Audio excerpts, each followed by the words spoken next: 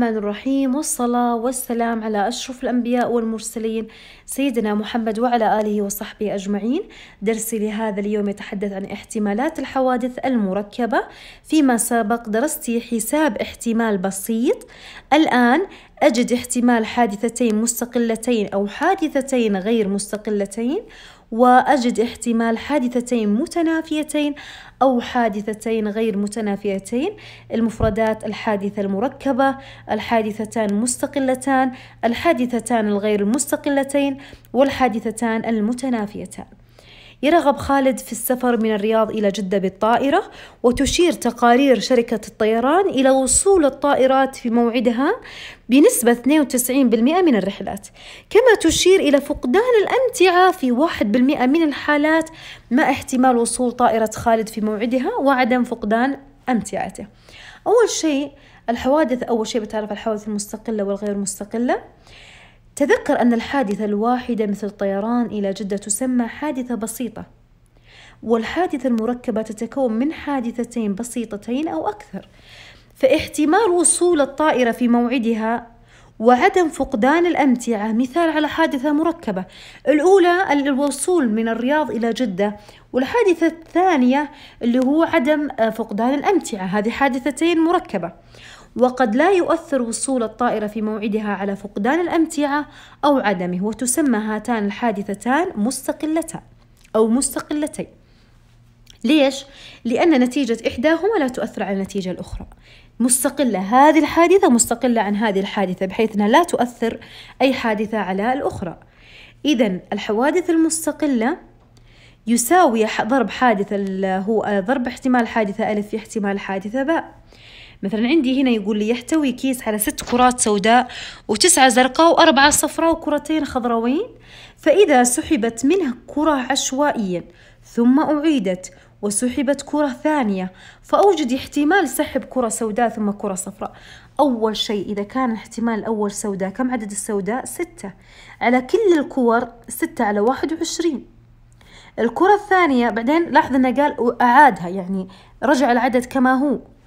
ثم احتمال صفراء كم الصفراء عندي؟ أربعة. بقول أربعة على واحد وعشرين. ثم بضرب الحادثة الأولى في الحادثة الثانية. ستة في أربعة بأربعة وعشرين على واحد وعشرين ضرب واحد وعشرين بأربعمية وواحد وأربعين. إذا بسطناها بتعطيني خمسة فاصلة أربعة بالمئة. طيب الحادثتين الغير مستقلتين اللي بتتأثر الحادثة تتأثر فيها الحادثة التي تليها.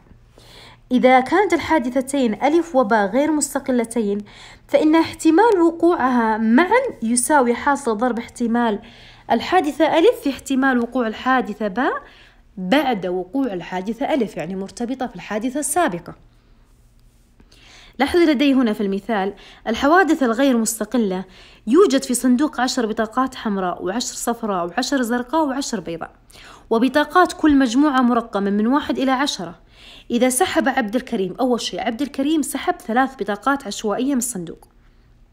واحدة تلو الأخرى من دون إرجاع. فأوجد احتمال أن تكون البطاقات المسحوبة بالترتيب المعطى كما يأتي. أول شيء إذا كانت مثلا حمراء بعدين بيضاء بعدين حمراء. أول شيء بقول إذا كانت حمراء كم عدد الحمراء كلها؟ عشرة. على المجموع الكلي أربعين. يعني في البداية احتمال إني أسحب بطاقة حمراء عشر بطاقات حمراء موجودة أمامي من أربعين من الكل.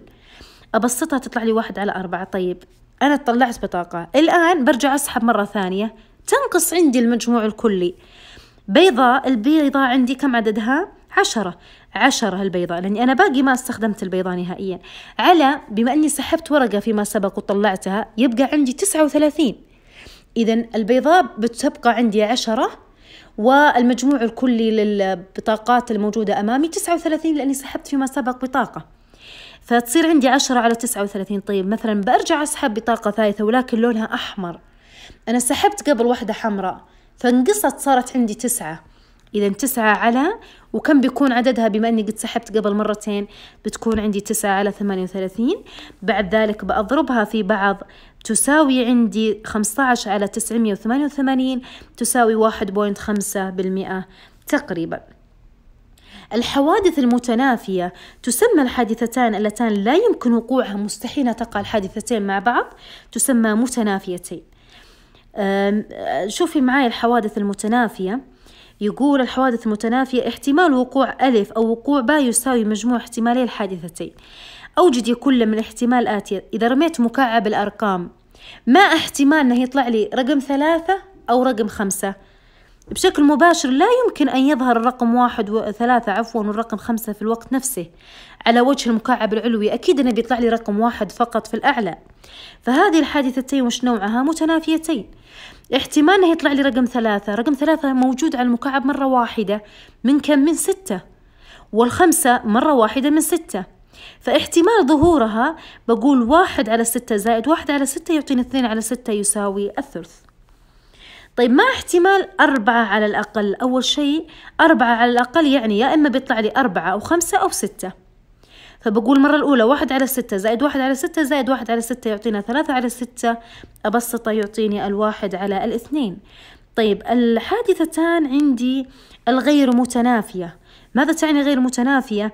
آه أن احتمال وقوع الحادثة ألف أو وقوع الحادثة باء يساوي مجموع احتماليهما ناقص احتمال وقوع الحادثتين معا.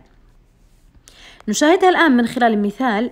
يوجد من بين 240 طالب في مدرسة ما 176 طالب.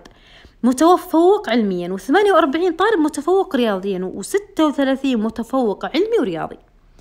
اختير طالب عشوائيا فاحتمال اختيار أن يكون متفوق علميا أو رياضيا. أول شيء المتفوقين رياضيا عددهم 48 من 240 أما المتفوقين علميا 176 على 240 احتمال متفوق رياضي وعلمي كلاهما بقول 36 على 240 الآن بقول الرياضي والعلمي 48 على 240 زائد 176 على 240 واطرح منها المشترك. المشتركين بينهم اللي متفوقين في نفس المجالين الرياضي والعلمي اللي هي 36 على 240 يساوي 188 تقسيم 240 بعد التبسيط 47 على الستين.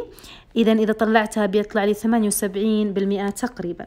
أتمنى أن يكون الدرس واضح لكنا جميعا.